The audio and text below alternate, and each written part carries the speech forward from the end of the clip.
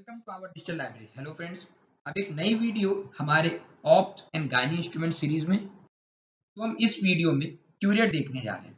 Black uterine curate इसमें जो central होता है सेंट्रल साफ्ट मतलब साफ्ट सेंट्रल होता है वन शार्प एंड मतलब एक एंड शार्प होगा एंड वन ब्लंट एंड मतलब और दूसरा एंड ब्लंट होगा।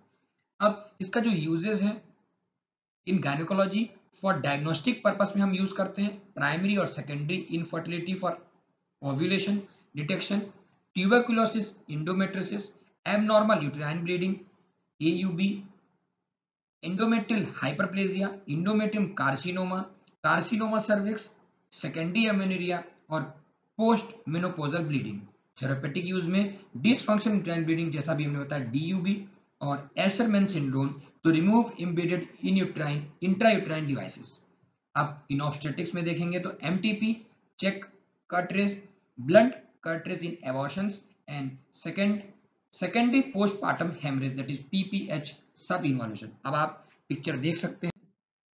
कि जो सेंट्रल है, वो साफ्ट साफ्ट सेंट्रली है, और एक एंड ब्लंट और दूसरा एंड शार्प है। नेक्स्ट क्यूरेट है। वो इंडोमेट्रियल बायोप्सी के लिए है।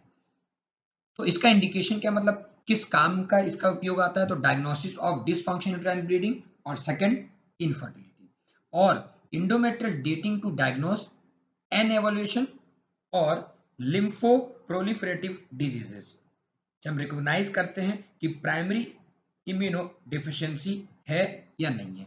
और can also act as uterine sound uterine sound की तरह उपयोग किया जा सकता है। और डायग्नोसिस ऑफ़ इंडोमेट्रियल कार्सिनोमा जैसा कि आप देख सकते हैं पिक्चर में।